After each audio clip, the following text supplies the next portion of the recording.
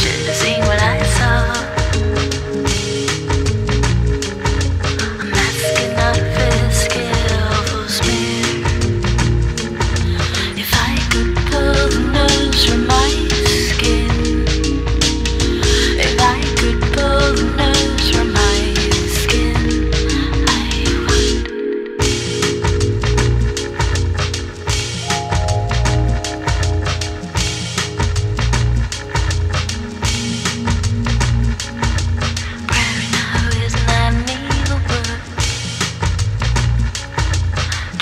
down his like a slouch.